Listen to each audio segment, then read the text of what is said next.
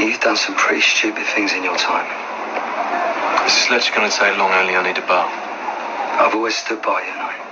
That's what brothers are for. And some of them were stupid, and some of them was out of order. But I've always stood by you because underneath it all, I knew that you was basically a decent man.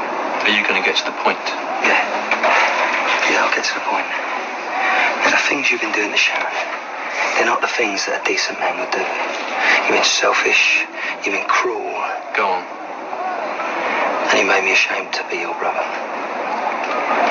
You knew what she did to me, and you can still say those things. Oh, all right, she was wrong. But you don't cut off someone's foot because they stood on your toes, do you? Yeah, well, I'm back now, and I'll sort it out with Sharon. Yeah. Until the next time.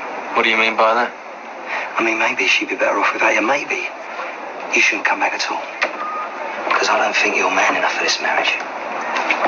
I for me to decide, Phil, not you. Sharon, I didn't mean to butt in. I'd like to speak to Grant in private. Thanks. Hello, Sharon.